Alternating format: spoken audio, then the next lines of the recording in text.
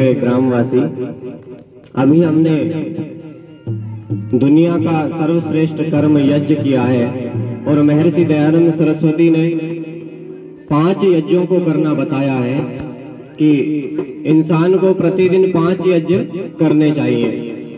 जिनमें से ब्रह्म यज्ञ और देव यज्ञ हमने अभी किया है और बाकी के जो तीन यज्ञ हैं वो इस भजन के माध्यम से मैं आपके समक्ष रख रहा हूँ। यदि ध्यान से सुनेंगे तो पाँचों यज्ञ आपको क्लियर समझ में आ जाएँगे कि पाँचों यज्ञ कौन कौन से हैं।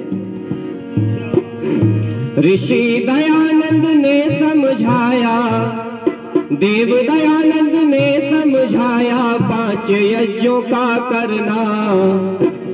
दीन दुखी और निर्बल जनों के कष्ट हमेशा हरना, यज्ञ करना। यज्ञ करना यज्ञ करना यज्ञ करना देव दयानंद ने समझाया, ऋषि दयानंद ने समझाया पाँच यज्ञों का करना। दीन दुखी और निर्बल जनों के कष्ट हमेशा हरना यज्ञ करना यज्ञ करना यज्ञ करना यज्ञ करना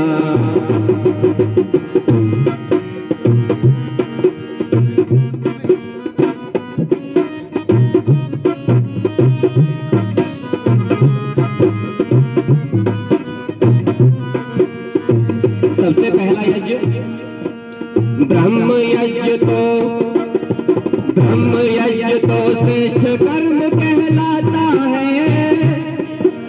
ब्रह्म यज्ञ है, प्रथम करो सब मिल प्राणी। इससे होगी शुद्ध हमारी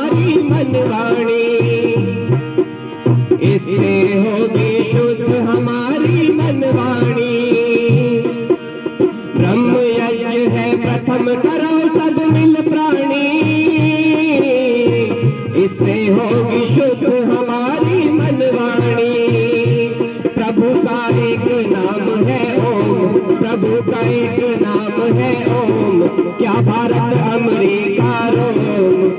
सब में बसा हुआ है ईश्वर, ध्यान हमेशा धरना, यज्ञ करना यज्ञ करना यज्ञ करना।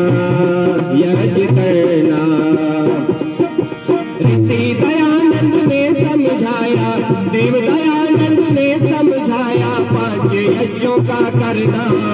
दीन दुखी और निर्बल जनों के कष्ट हमेशा हरना। यज्ञ करना यज्ञ करना।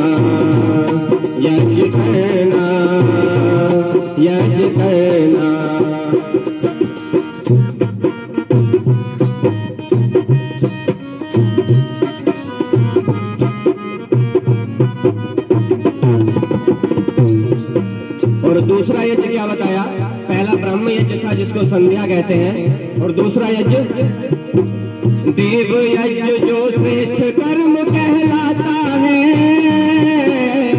चीटी से हाथी तक सुख हो जाता है।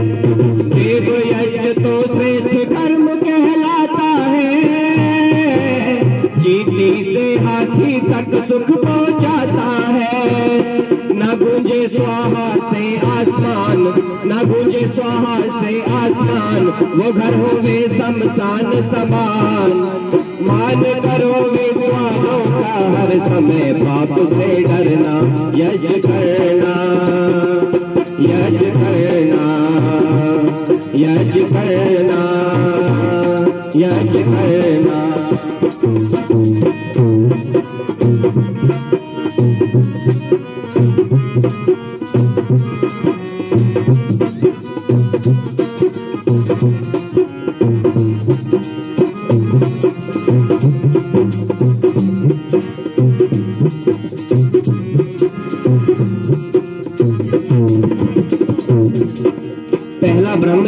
दूसरा देव यज्ञ और तीसरा जो यज्ञ महर्षि देवदयानंद जी ने बताया, यज्ञ तीसरा माता पिता की है सेवा। बड़ों की सेवा से ही मिलती है मेवा। यज्ञ तीसरा माता पिता की है सेवा।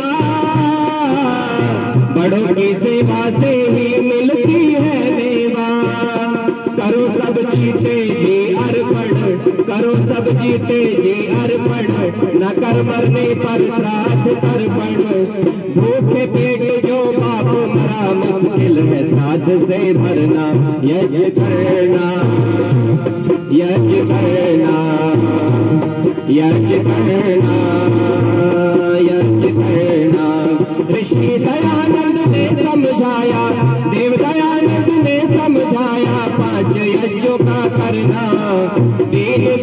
और निर्बल जनों के कष्ट हमेशा हरना। यज करना यज करना यज करना यज करना।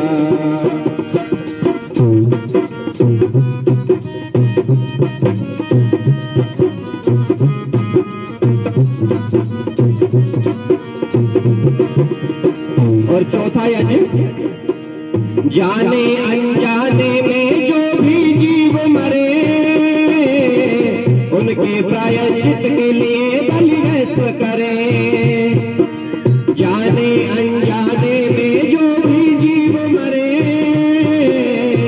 उनके प्रायश्चित के लिए बलिरस करे दस आहुति भात की देकर दस आहुति भात की देकर मन में भाव दया का लेकर, दस आहुति भात की देकर मन में भाव दया का लेकर। वरना यज हवन आर्यो पछताओगे वरना यज करना यज करना यज करना।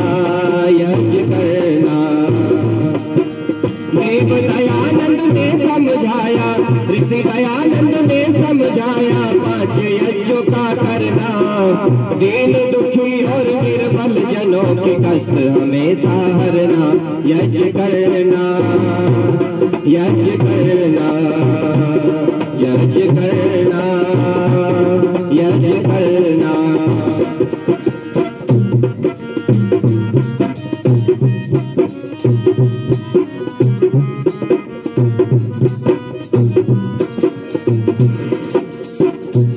पांचवा यज्ञ जो अंतिम बताया, जो भी अतिथि